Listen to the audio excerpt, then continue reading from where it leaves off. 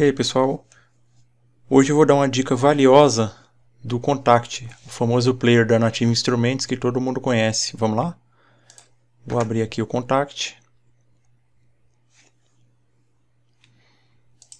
Eu vou procurar aqui um instrumento que não seja tão pesado para não ficar muito lento esse tutorial. Vou pegar aqui o Session Horns da Native também. Vou carregar ele aqui. E o que acontece? Como vocês podem ver, esse é um problema muito comum que vocês todos já enfrentaram, né? A demora para carregar o instrumento.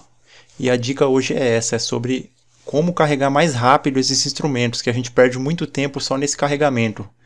Fica muito improdutivo o fluxo de trabalho da gente, né? Para produzir alguma coisa. Eu mesmo já, já cheguei a carregar um instrumento em quase 8 minutos, só nessa barra que vocês estão vendo aí.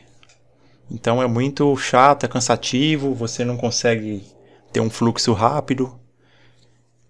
E depois dessa dica, acredito que vai resolver muito a vida da gente esse problema. Então, depois de carregar o instrumento, você clica nesse ícone aqui de parece uma ferramenta e clica em Save.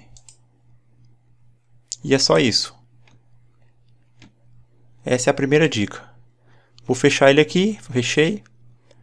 E quando eu carregar ele de novo, como vocês podem ver, ele carregou bem mais rápido. Vou fazer novamente. Ó, não deu nem dois segundos para carregar. A segunda forma de fazer isso é o seguinte. Aqui, como vocês podem ver, tem dois instrumentos só no Session Horns. Então, para mim fazer o outro, era só eu puxar esse aqui e salvar. Mas se eu tiver muitos instrumentos, como nesse caso aqui, ó, do Session Strings Pro 2, onde eu tenho aqui, ó, 3, 6, 9, 10 instrumentos. Então, você ficar puxando para cá, clica lá, clica em Save, é um processo meio chato e demorado. Então, a outra forma é você vir aqui em aqui nesse ícone de disquete. Tem essa opção aqui Batch Resave. Ele faz uma pergunta, você clica em sim.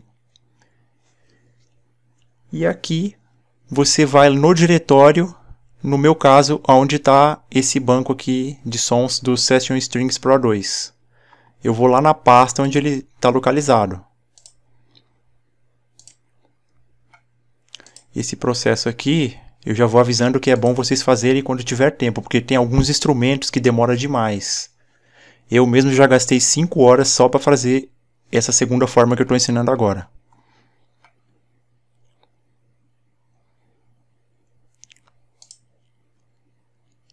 Então aqui eu achei.